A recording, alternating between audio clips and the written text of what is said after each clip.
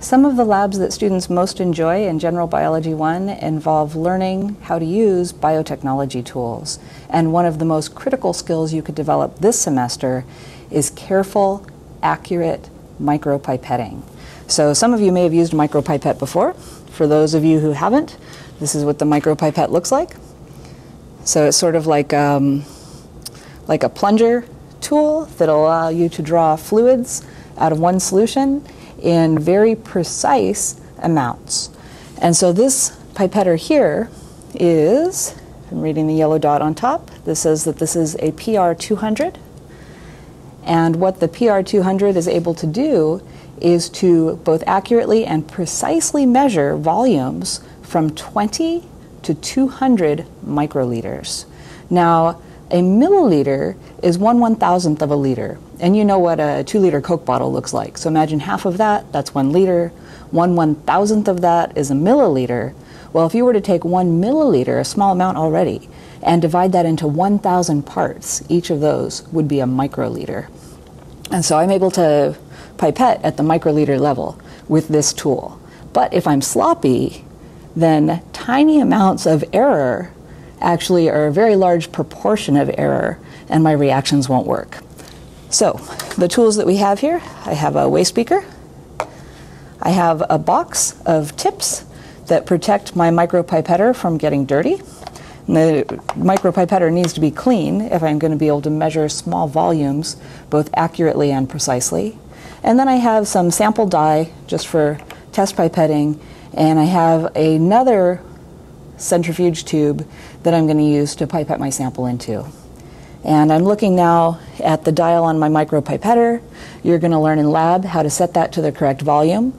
This one, it's the, remember, the 200 microliter pipetter. And it says 020. And that means that I'm going to be pipetting just 20 microliters, which is a small volume. But first thing I need to do is to go ahead and place a tip on the pipetter, both for accurate measuring of my small volumes, but also to protect my micropipetter and keep it clean. In order to do that, you simply press the tip firmly onto the micropipetter. And so now I'm ready to go. So I'm set to 020, that's 20 microliters.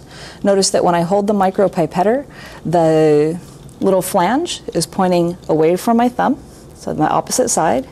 My thumb can position over the central plunger, and my thumb can also position over the eject button. So right now we're going to use the central plunger. And what I'd like you to do is kind of follow along, raise your hand, well, not raise your hand, but lift your hand and either hold a pen or just curl your hand around as though you were pipetting. So with the thumb over the central plunger, what I notice is that as I press, I hit a little stop. And in fact, that's going to be the position for drawing fluid up into my micropipetter and then I gently release. So I press down and I notice a stop, and then I can draw fluid up slowly and carefully and release my thumb. In order to dispense that fluid, what I'm going to do is get my new tube and dispense into that. I press my thumb back on the plunger and I press down through the first stop all the way to the bottom. Then I need to take my tip out of my tube and slowly and carefully release my thumb. And then when I'm finished with that sample, I press the other button, the one closer to my body, in order to eject that tip. And then I start with a fresh tip each time. So firmly press, I have a tip. And now with my other hand, or maybe my partner will help to open this tube, but with my other hand, I need to be holding the tube and I need to be holding the pipetter. So always remember two hands, one brain. When you have two people doing fine scale work like this, you'll make errors. So in order to get accurate pipetting, two, two, two hands, one brain. Two hands, one brain, one hand holding your tube of solution, the other holding the pipetter. So I'm going to press down to the first stop, and then I'm going to insert into my tube of solution. I don't want air bubbles in there, that's why I press down first. And then I'm going to carefully release my thumb. And I have now a tiny, tiny amount of solution in the tip of my pipetter. Now I don't want to lay it down because I'll lose my suction in my pipette tip and then I won't get an accurate volume. So now my partner could open for me the second tube and hand it to me. Once I have the second tube in my hand, I'm ready to dispense. So I place the pipette tip down into the tube and then slowly with my thumb press all the way down to the bottom through the first stop to the second stop of the plunger, remove the tip from the solution, and then slowly release with my thumb.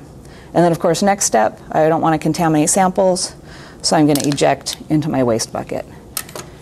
And close my tube, and there we are, 20 microliters of solution.